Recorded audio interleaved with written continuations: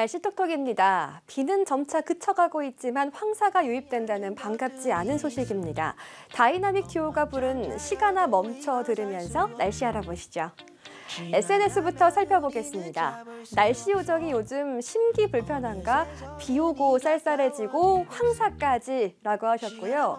또 다른 분은 황사 온다더니 안개 같은데 라고 쓰셨습니다. 현재 서해와 남해 도서 지역에 안개 낀 곳들이 있습니다. 오전까지 중부 서해안은 짙은 안개로 인해 시야가 답답한 곳들도 있겠습니다.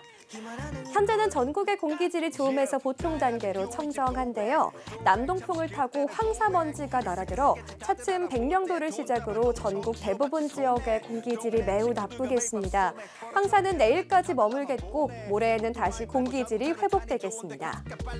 비는 거의 그쳤습니다. 낮까지 강원 내륙과 경북, 울산과 경남 중부 내륙에 가끔 비가 오는 곳이 있겠습니다. 강원과 충북, 영남 지역은 늦은 오후까지 강한 바람도 불겠습니다. 어제에 이어서 오늘도 평년 이맘때 봄 기온을 보이겠습니다. 낮 최고 기온이 20도 안팎에 머물겠는데요. 서울은 19도, 춘천과 대전, 전주 21도가 예상됩니다.